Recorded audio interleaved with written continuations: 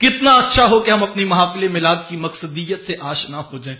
कितना अच्छा हो कि कोई नौजवान हमारी महफिल से उठकर जाए और जाकर बूढ़े बाप के कदम पकड़ ले, हाथ जोड़कर माफ़ी मांग ले और कि अबू जी, कई मरतबा खता हुई नाफरमानी भी की। आज सच्ची तोबा कर तो आइंदा कभी ऐसा नहीं होगा। मुझे माफ़ कर दीजिए।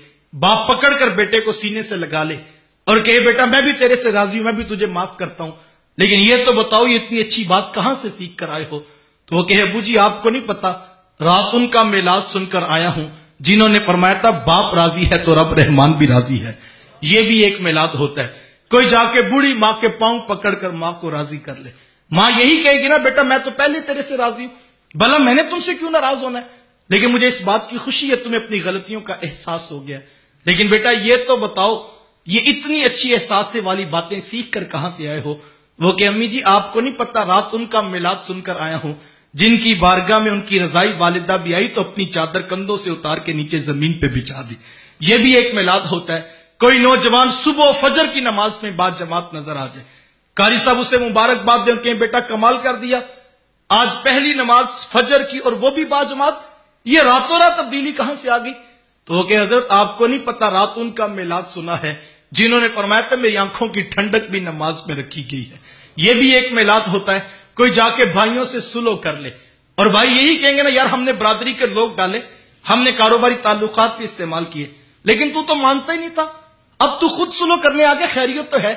तो कहे, भाई, आपको नहीं पता, रात उनका मिलाद सुना है। जिन्होंने फरमाया था, जो सुलो में पहल करता है, वो जन्नत में भी पहले जाएगा। ये भी एक मिलाद होता है। कोई ताजिर सारा दिन दुकान पे बैठ के सच बोलने का अहद कर ले। झूठ ना बोले, धोखा ना दे, फ्रॉड ना करे।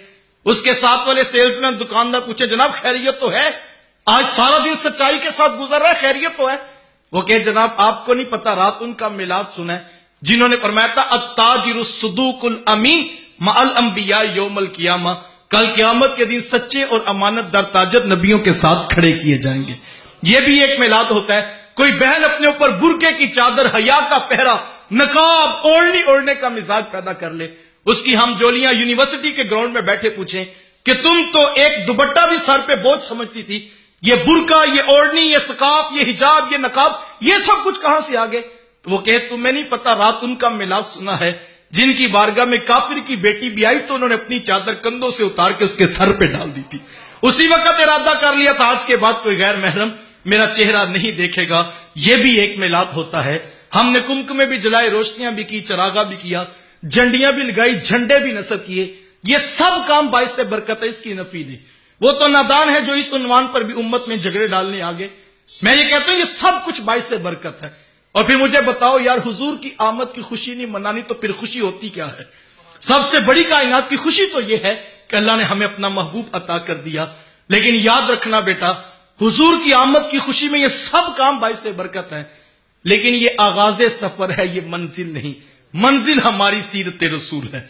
शुरू हमने यहाँ से होना है, झंडियाँ लगा के, मोहब्बत के गीत गा के, हमने प्यार की उल्फतों की दास्तान रकम करके, लेकिन हमने यहीं पे खड़े नहीं रहना।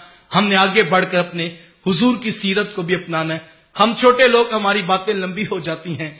मैं अगर सारी बात को दो जुमलों में कहूँ तो मेरे शेख तरीकत अपने मीठे लहजे में फरमाया करते हैं कि बेटा ये ना हो कि लोग तुमसे पूछें कि तुम कौन होते हो और तुम पासपोर्ट से मज़हब का खाना दिखाओ। ये देखिए इस्लाम लिखा है, हम मुसलमान होते हैं। कहा नहीं बेटा, ना किसी को पूछना पड़े, ना किसी को बताना पड़े। तुम दूर से आ रहे हो, तुम्हारी वजाकता, शक्लो सूरत, चाल ढाल, अंदाजे, मुआशरत, तर्ज ज़िंदगी ऐसा हो कि लोग मुस्कुरा के कहें, वो देखिए मिलाद वाले आका का उम्मती आ रहा। अपना ओढ़ना, बिछोना, चलना, फिरना, खाना, पीना, सब कुछ हुजूर की सुन्नतों के ताबे ले आए। उनकी हर सुन्नत हो साकिब, जानो दिल से भी अज़ीज़। उनकी हर सुन्नत हो साकिब, जानो दिल से भी अज़ीज़।